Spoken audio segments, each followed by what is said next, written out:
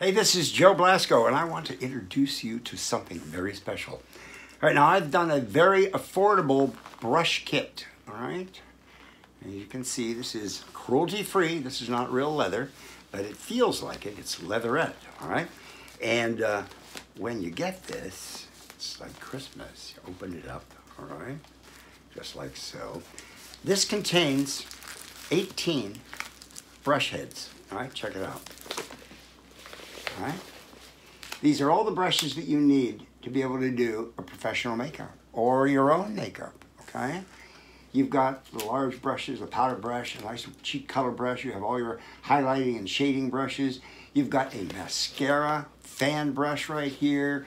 Uh, on the other end of that brush, there is also a, uh, a tip that helps to, to comb, that will allow you to comb the lashes and separate them and to extend them.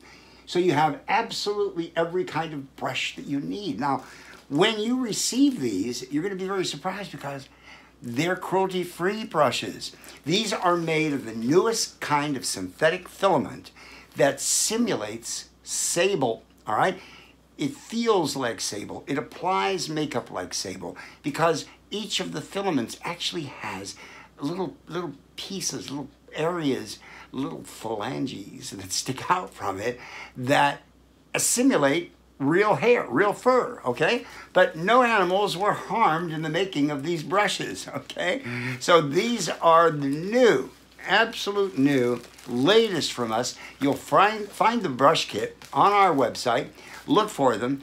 It's a very reasonably priced article, and you have all of the brushes that you need. And by the way, whenever you get these, you have to open them up and you look at them. Sometimes when the way the way these things fold, they'll fold and it'll it'll it'll uh, crimp some of the hair on the brush. So you want to simply dampen your brush and form the hair, all right, and allow it to dry. So if you get a few brushes that have caught in between the folds of the brush kit on the way during shipping, and you find a couple of little hairs that are askew, don't worry, just wet them, okay?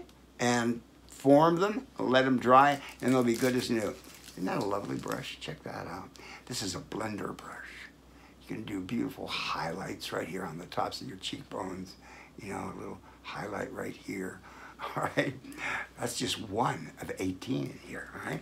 There's 18, we say 18, actually it's 19, I believe and uh, one of them has uh, uh, an area on either side. There's a brush on one side and a comb on the other. All right, so there you have it. The new brush kit from moi, Joe Blasco, available right here at joeblasco.com.